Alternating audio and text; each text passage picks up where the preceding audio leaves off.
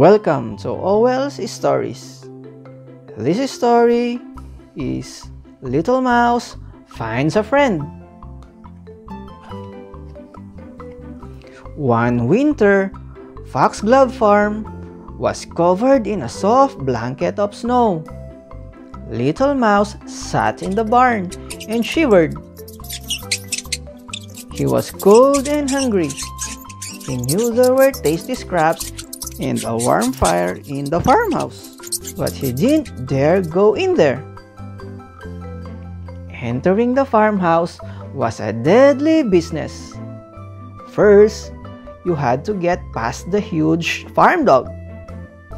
His ferocious bark and snarling teeth were enough to scare the bravest of mice. Then there was the farmer's wife. It was said that she once cut off a mouse's tail with a carving knife. But worst of all was the cat. She was terrifying. She had dagger-like fangs and claws as sharp as needles. Her large amber eyes saw everything, and her small black ears missed nothing. She could hiss like a snake and snarl like a tiger. Little Mouse had heard that the cat could creep up on you in total silence and then pounce with deadly speed. The mere thought of the cat made Little Mouse quake with fear.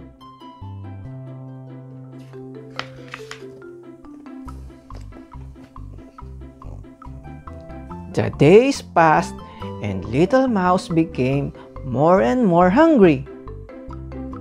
Each day, he roamed the farm in search of food, but there was little to be found. The horse gathered his oats. The chickens chased him away from their grain. The cows stomped their feet every time he tried to share their morning feed. The pigs wouldn't even let him share the kitchen scraps.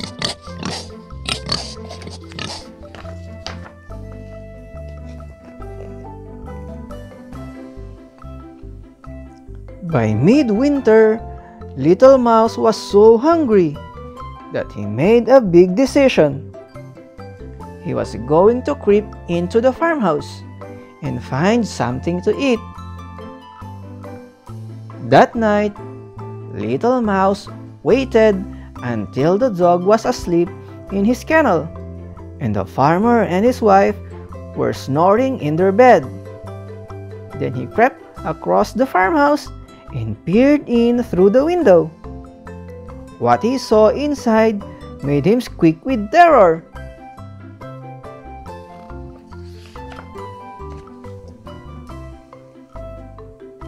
The cat was leaping up and down and spitting loudly. Her hairs were standing on end and her eyes glinted dangerously. It was a terrifying sight. Little Mouse was about to scamper away when the cat howled and flopped to the ground. The sound made Little Mouse stop and take another look. It was only then that he noticed something. Something that gave him the courage to sneak in through the cat flap for a closer look.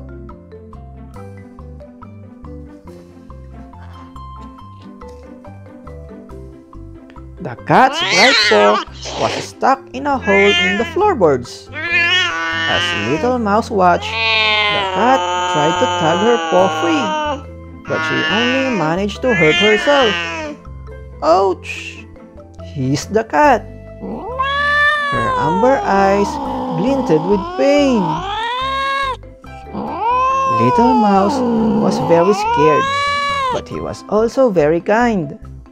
He didn't like to see anything in pain, so he crept forward to see if he could help. The cat's ears twitched. Who goes there?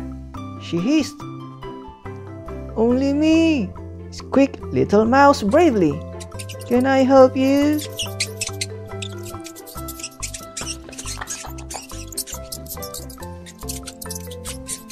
The cat swished her tail and sighed. My paw is trapped, but I don't suppose a little fellow like you can help. I'll just have to wait until the farmer's wife comes down in the morning. She began to lick her trap paw so sadly that Little Mouse felt quite sorry for her. I can help, he declared bravely. And before he could change his mind, Little Mouse dashed forward and began nibbling at the wood surrounding the cat's trap paw.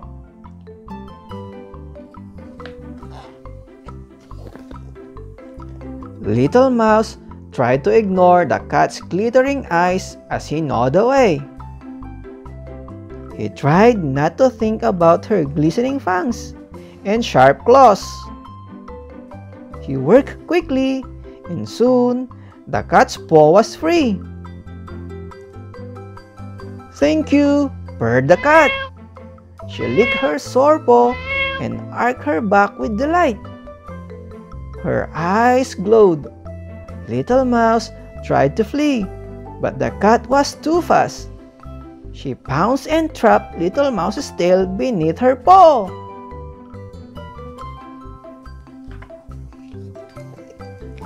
Hey, don't run away, she purred.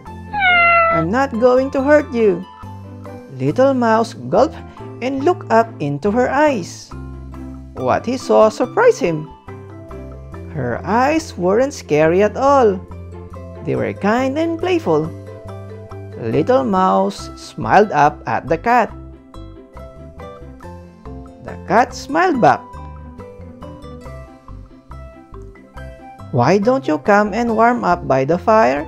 She asked. I can even find you some scraps of cheese if you like. Oh, yes please, squealed Little Mouse.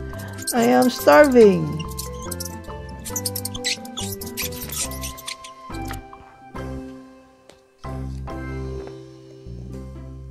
After Little Mouse had eaten so much that he groaned with pleasure, he sat beside the warm fire with the cat. By sunrise, Little Mouse and the cat were the very best of friends. Little Mouse had been wrong the cat wasn't at all frightening. She was the friendliest cat any mouse could wish to meet. Unfortunately, the farmer's wife didn't share this view on mice. She screamed and screamed and screamed.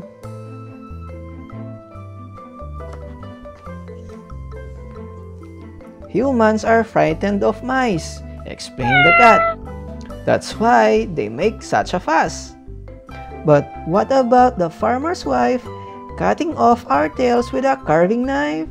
asked Little Mouse. Oh, that's just a silly story. Ha ha ha, laughed the cat. But I think it's probably safer if you only come into the farmhouse when everyone else has gone to bed, the cat said smiling.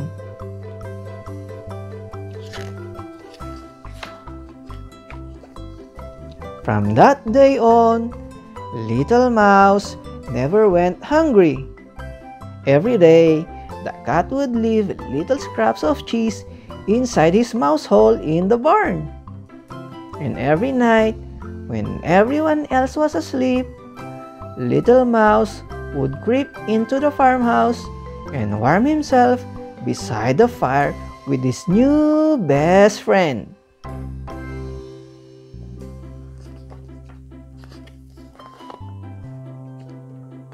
The end. Thank you for watching.